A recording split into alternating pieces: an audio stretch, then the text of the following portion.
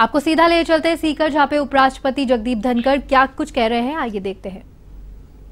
पर मैं दीनदयाल जी के दर्शन चिंतन के बारे में कुछ कह पाऊँ। पर एक प्रोफेसर साहिबा भी आई हुई थी। हमने देखा कि दीनदयाल जी के बारे में चर्चा बिना अध्ययन के, बिना गहराई के समझे संभव नहीं है। आपने एक वाक्य में सबका समापन कर दिया कि आपने एक छात्र की तरह बहुत अच्छा भाषण दिया है।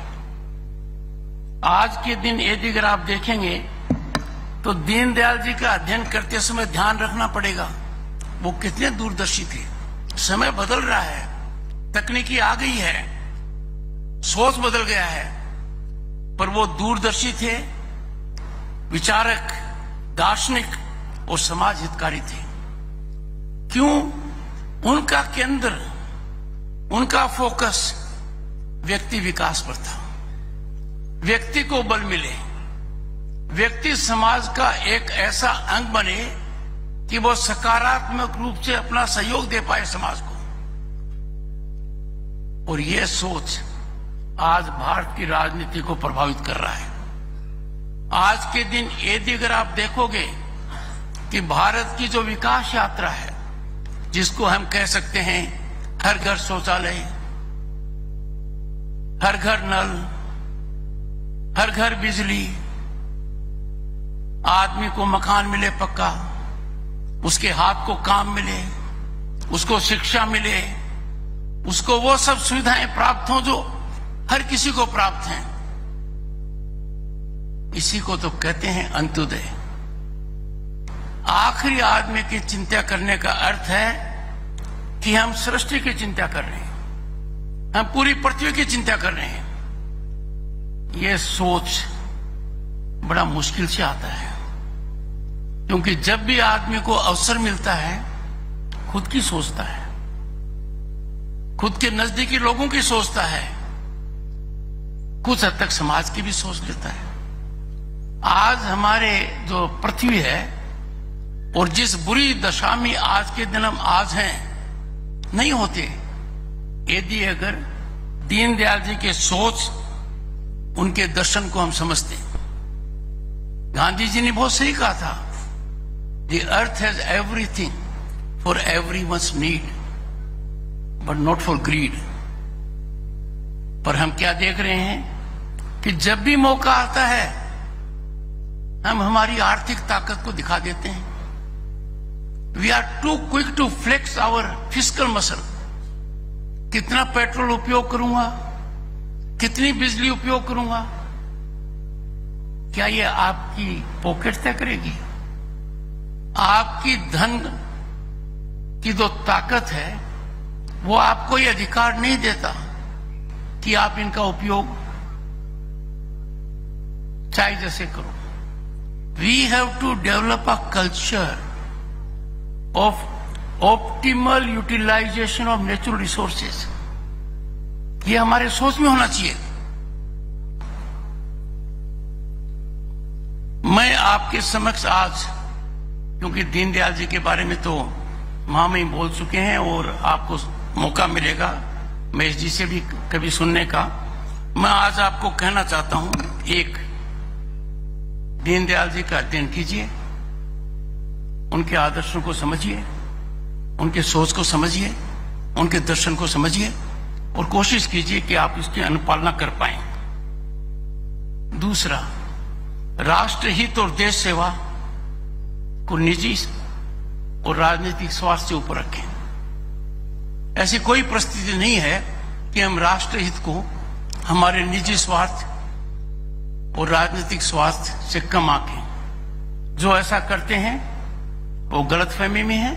उनकी सराहना कभी नहीं करनी चाहिए, चाहे देश में या चाहे बाहर। कोई भी हमारे राष्ट्र हित को नुकसान पहुंचाता है, वो हमारा हितैषी नहीं है। देश की आज़ादी को हमें समझना पड़ेगा। इस आज़ादी आज़ादी को बड़ी मुश्किल से मिली है। और इसीलिए मैं कहूँगा खास तौर से नवयुवकों को, आपातकाल का कालाखंड कभी मत भूलिए। और इसी को दृष्टिगत रख के रखते हुए संविधान दिवस मनाया जाता है अब 26 नवंबर को। उसकी गरिमा समझिए, उसकी अहमियत समझिए कि इमरजेंसी के अंदर हमारे साथ क्या हुआ, कितना बड़ा खिलवाड़ हुआ, देश कहाँ से कहाँ चला गया, कितने अंधकार में चला गया, कैसे लोग जेलों में चले गए। आज़ादी को 18 साल नहीं हुए थे और एक व्यक्ति ने अपनी इच्छा पूर्ति के लिए, अपने पद को बचाने के लिए लाखों लोगों के अधिकारों को एक तरीके से कूड़ेदान में पटक दिया। देश की कोई संस्था आगे नहीं आई बचाने के लिए आपको याद रखना चाहिए। क्योंकि नवयुवकों को अंदाज़ा नहीं है उस समय क्या हुआ था। और इसी तरीके से एक और दिवस की चर्चा की गई है तो इसी साल की गई है, संविधान हत्या दिवस। 25 जून को मनाया जाता है। सोचना पड़ेगा कि भारत जैसे प्रजातंत्र में हज़ारों साल की संस्कृति विरासत को, विरासत का धनी भारत, कैसे एक व्यक्ति के सामने नतमस्तक हो गया कि कोई भी रक्षा के लिए नहीं आया? ये आपको देखना पड़ेगा। ये मेरा विशेष अनुरोध है।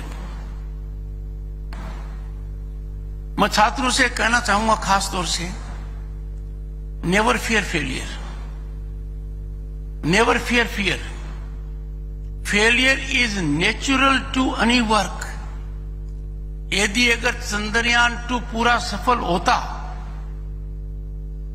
तो चंद्रयान तीन की आवश्यकता नहीं थी। पर चूँकि चंद्रयान दो बहुत हद तक सफल हुआ, कुछ लोगों ने उसको फेलियर का फेलियर नहीं था।